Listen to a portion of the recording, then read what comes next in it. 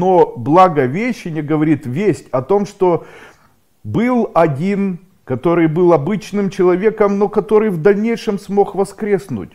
И это говорит о том, что в человеке, в каждом, должна быть вера.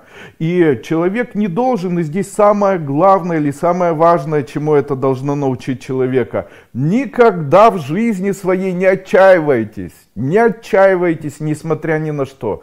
Все равно сжимайте зубы, все равно боритесь, все равно верьте в доброе, все равно верьте в радость. Не слушайте никого, все равно стремитесь, все равно боритесь, все равно поднимайтесь. Все равно старайтесь, все равно что-то делайте. Это и есть наша внутренняя сила. Когда человек говорит, нет сил у меня, я все время говорю, сил нет у тела.